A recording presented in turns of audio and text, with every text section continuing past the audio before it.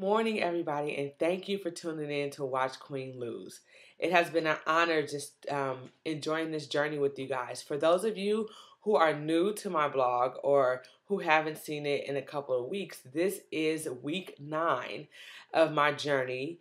And um, just as a recap, I have been overweight my entire life. In 2007, I decided to just go for it and um, start begin losing weight. Over the course of 2008, I lost about 100 pounds, uh, which was an amazing year for me. 2009 was a very rough year, and it was a plateau year for me. Um, however, in April of this year, I applied for the show The Biggest Loser, and um, I didn't make the show, and it was very devastating for me.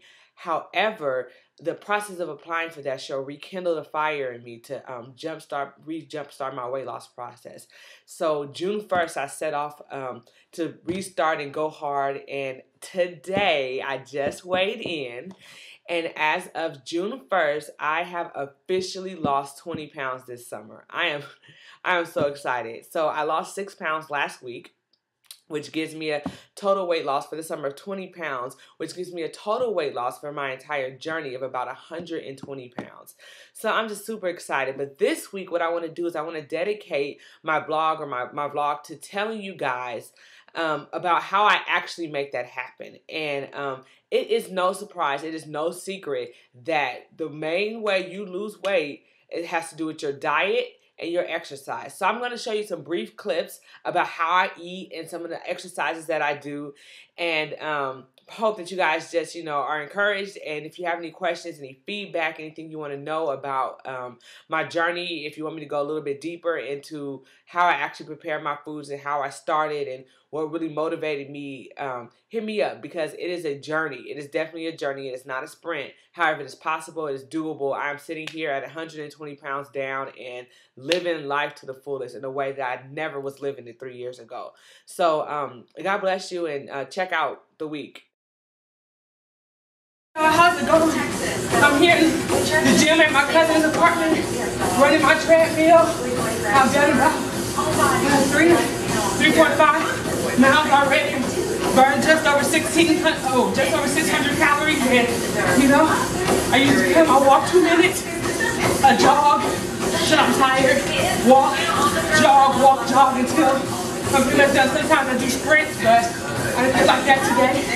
Um, later on, I'm going to go out to the pool and swim some laps. But yeah, just be encouraged. Start at your own pace. Don't let anyone pressure you to go at their pace. Build up your endurance. Push yourself a little bit. And you'll find yourself, like me, doing things you never thought you would do, like running the treadmill. All right, I'll check you out later. Bye. So this is my god sister Sasha. She's a chef. And um, as I told you guys, I'm trying uh, different methods to maximize on this weight loss journey. And so Sasha has volunteered to help me with some of my meals. So tonight she has made a scrumptious dinner for us. Sasha, why don't you tell them what you've made here? Um, here's some basmati rice with some peas and brunoise carrots. And that's just going to be the base for our Indian curry tilapia. Everything's fresh, fresh tomatoes, a little bit of lime juice, lots of onion and garlic. Nice, rich, hearty dish. Things that are very unhealthy. So I want to show you some things that I eat that are, um, may, I may not cook by myself, but are still healthy. So here in my refrigerator, um, we have a couple of things that I eat. Those you, some of you guys know already. I don't eat meat except for fish. So a lot of my items are going to be meatless, except um, except for fish, but they're still going to be healthy. So here from Trader Joe's, I get what's called Mahi Mahi burgers.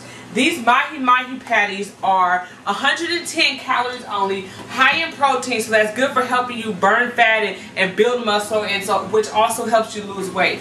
I have here what are called sandwich thins made by Oroweat. These sandwich thins are only 100 calories for this pack of sandwich thins. So what ends up happening is I'll use a sandwich thin and I'll put it on a mahi mahi burger or uh, a salmon burger and that's like 200 calories just for a burger and you add all the vegetables you want because you know caloric uh, speaking that it doesn't even matter. It's not a big deal. On top of that, I eat these things from Trader Joe's called black bean and corn enchiladas. It comes with two enchiladas. Each enchilada is 130 calories, which is only 260 calories for a meal. That's amazing. And I guarantee you, these things fill you up. 260 calories for lunch. That's great. Um, on top of that, I also get what's called, I'm sorry for this, these vegetable egg rolls. I get these from Trader Joe's. You pop them in, in the oven for about 10 minutes. These vegetable egg rolls are only 110 calories each. I ate two of these this morning with my protein shake and it was what, a 300 calorie brunch or breakfast, whatever. It was it was amazing. Um, I'm an advocate for being able to cook for yourself. However, at times when you can't cook for yourself, you want to take a healthier route, which often is going to stores like Trader Joe's and buying products like I just showed you because that will drastically um, enhance your diet.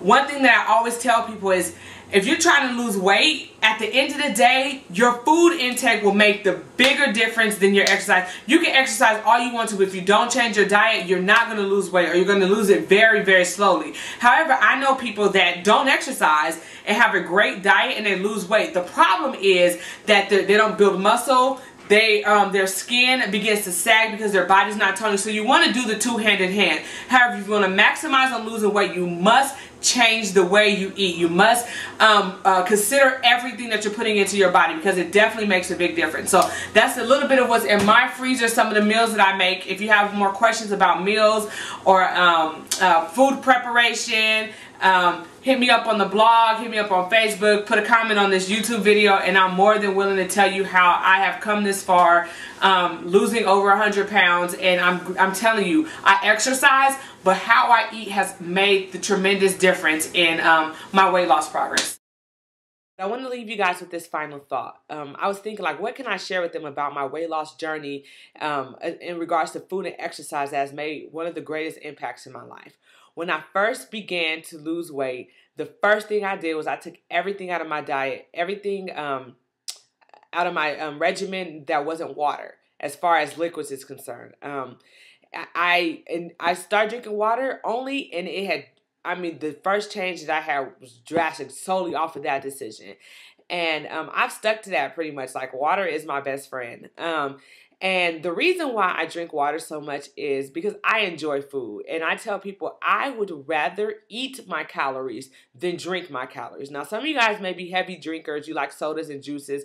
But in my opinion, if you can take out the sodas and juices, then you have like propelled yourself so much further in this process. And like I said, if um, a drink is going to have as much calories as a meal or half of a meal or even a third of a meal, I'd rather not drink it. Um, I'd rather just have the water. And um, so there's regular water, but also there's these things right here that I get from Albertsons. These are flavored waters, um, sparkling water. So they actually give you maybe a little bit of the same feel. That's the the fizz that soda gives you, and they're still um, zero calories. This is called Acacia Blueberry. They have white grape. They have so many other flavors. Um, also, when I go to restaurants, I get water, lots of lemon, and it really takes it cuts that tap water taste out, and I enjoy it. Now, for those of you guys who must have soda, um, I occasionally have a soda fix and um, I will get a diet soda. Now, I am not a fan of diet sodas. There's no healthy aspect to it at all. However, if it's between a diet soda and a regular soda, you might as well get the drink that has no calories. They're both horrible for you anyway. So, um, in your goal to lose weight, drink half a, a diet soda. Drink a diet soda if it is something that you must do um, and you feel like you need a fix, get it. It's horrible for you in health, but so is a soda that has calories. So go for the one without calories. Um, but yeah, water has changed my life. Um, and even recently, people are like, Liana, your skin looks so good. How do you do it? Girl, I say water and sweat. Like, and they laugh at me, but I'm so serious. I've never sweat as much as I have in my life, and I know that my body is sweating out the impurities. And the water is very cleansing. I don't do any special makeup, any special type of um, um, facial products. I use regular Neutrogena face wash, which I do love that face wash, but I can guarantee you that water and sweat have done miracles to my skin in ways that not, no special doctor doctor's program or product has to do. So, you know, that's it for the week. You guys have a blessed week. Um, tune in next week and I'll have, you know, more updates and I'm so looking forward to this process because it, it's it's been great.